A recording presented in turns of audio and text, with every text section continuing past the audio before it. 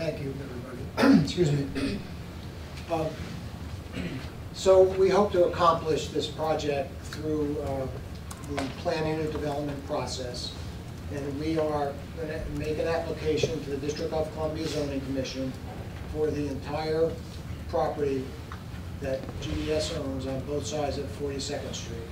So the Martin's Triangle, the Safeway site, and the residual part of, of the campus, which it currently uh, uh, is using, and has been using for 30 years.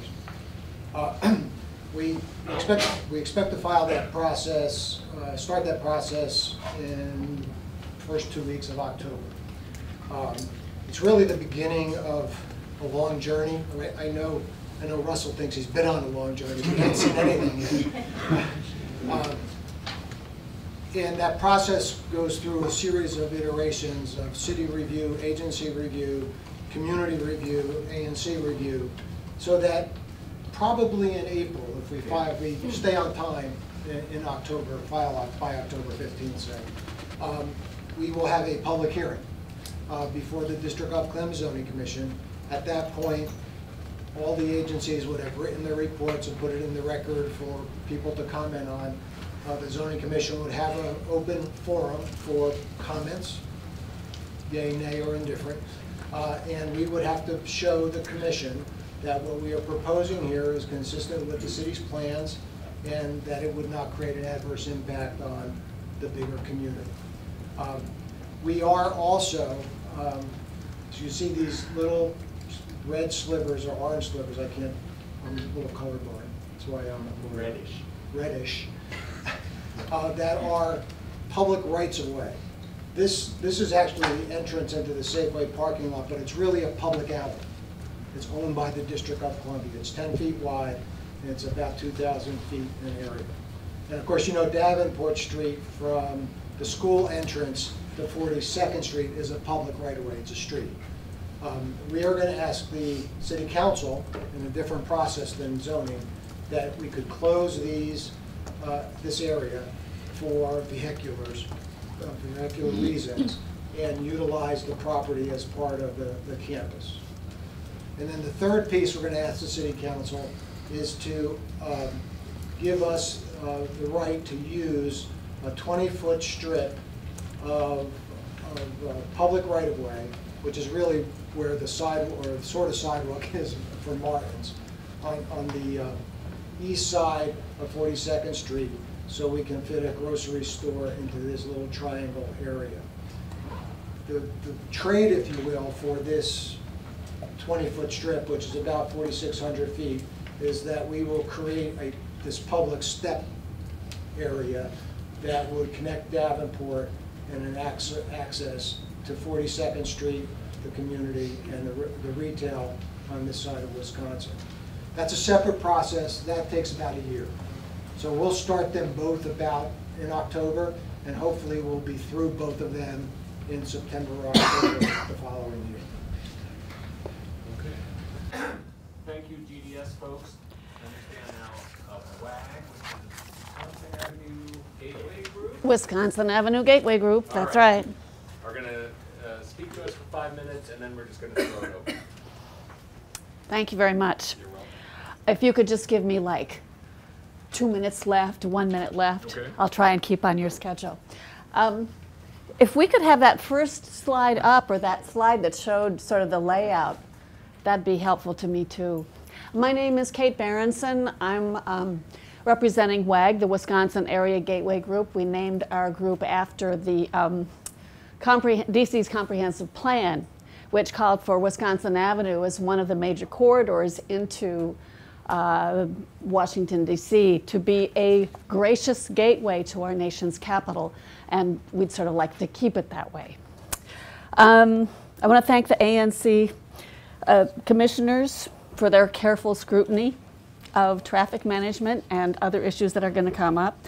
We thank GDS representatives for listening to us and um, often hearkening to us, especially lately, and we really appreciate that. Um, with our concerns, and we thank you neighbors who came to participate in the review process. Your participation is critical.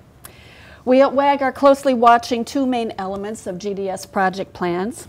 Number one is school expansion and the bringing in 700 more kids to the 500 kids already there. We say yes to kids, but we say no to cars. We're very happy to see the new iteration of the traffic plan um, because going from 500 to 1,200 kids really means a lot more school drop-offs and pickups. And adding to the already strained uh, commuter traffic in the two major corridors that flank, the project, River Road and Wisconsin Avenue. Uh, more kids being dropped off encourage dangerous cut-throughs through our narrow residential streets, and these are often made at high speeds, as we've had a lot of uh, people witnessing lately. And it also promotes unauthorized student drop-offs in areas that are, you know, close to the school if parents don't really want to go through an underground passageway, that sort of thing. This new GDS plan, Four Ways to Get to School, is very welcome. It presents good strategies, but I am concerned with some of the definitions of the language in the rhetoric for this uh, Four Ways to Get to School. Um, the definition of compliance, the language to be used in the student contract. And so we withhold judgment as to the plan's enforceability, and we look forward to hearing more from GDS about that. The new mode split projections are also sort of confusing because we heard Mr. Shaw talking about um, uh, the 180 parking space garage for the school uh, would not really be used to that full capacity, but in their aspirational mode splits with the consolidated campus and their new trans transportation management plan in place, they still count for 174 families and staff members who drive their personal cars. Now, maybe I misunderstood it, but that's what I see on this form. So there's, there's some splaining to do, as Desi used to say to Lucy in I Love Lucy. Um, so that's the aspirations concerning cars driven by staff and by students. That's also with a projection that a doubled staff will only 50% of the doubled staff doubled staff will drive cars.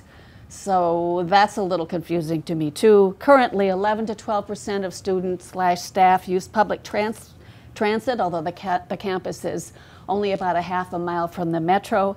Yet they project in their new plan that only 22 to 25% of students slash staff will participate in public transit. And we at WAG find this percentage a little low, it sounds like the incentive should be made a little stronger. The carrots, you know, the combination of carrots and sticks could be made a little heftier. Two minutes. Two minutes. Okay, second page. Our other concern, um, retail residential buildings. We, we don't want to watch the slow deterioration of the Martin's car dealership lots. We'd hate to see that. We welcome new shops, new restaurants. We'd even like to have, you know, we'd like to welcome new neighbors. We're not against this kind of development. In fact, we're very pro. Um, but we are hesitant to accept what's on offer. On the GDS campus planning website, it says GDS plans to lease or sell Wisconsin, their Wisconsin Avenue portion of the site to a developer who will construct two residential retail uh, retail residential buildings, unquote. That's how it's stated on their site. If that is true, then it seems unproductive, frankly, to discuss project issues with a very patient Mr. Shaw when we really might be better off talking directly to the developers who at this point look to be um, JBG because they're the project consultants. I just raise this as a possibility because it seems like more direct communication is always more fruitful. The DC Comprehensive Plan specifically addresses this section of Wisconsin Avenue by stating, quote, the scale and height of new development on the corridor should reflect the proximity to single family homes, the ones that are right here, the ones that are right here, the ones that are facing that very tall building,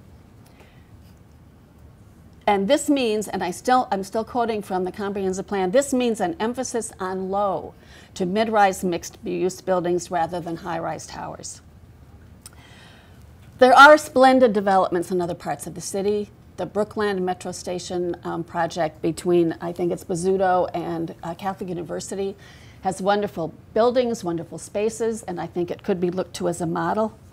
Our other issue is use of public space. We question GDS's appropriation of public space along 42nd Street in order to build their, um, uh, their proposed north building. It's a huge ask. It's a huge ask. And that's a quote from DDOT's Ryan Westrom. And it must be mitigated in, a, in an equally huge manner. We don't think that the Davenport steps do that. Okay, so you could, just wrap up. Yeah, I am wrapping up. Um, we fear this, this series of steps will become a wind tunnel. We don't think, we think it encourages drop-offs from Wisconsin Avenue, and we much prefer DDOT's idea to open up Davin Street, Davenport Street from Wisconsin to 42nd Street. Thank you very much. Thank you. All